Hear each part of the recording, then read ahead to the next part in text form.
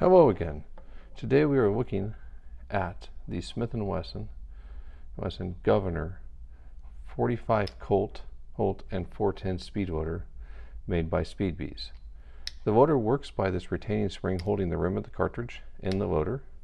It ejects the rounds via these pins that push on the rims of the cartridge. Cartridge. You can load the loader by hand by simply just snapping the rounds in past the spring, or you can use one of our loading blocks by simply putting the loader over, pushing down and snapping the spring past, picking them all up at the same time.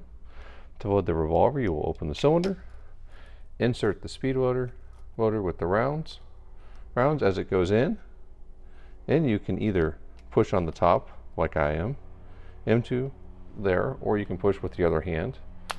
When you push, the rounds will be released, falling into the cylinder. You will close the cylinder up, and you are ready to go. Thank you.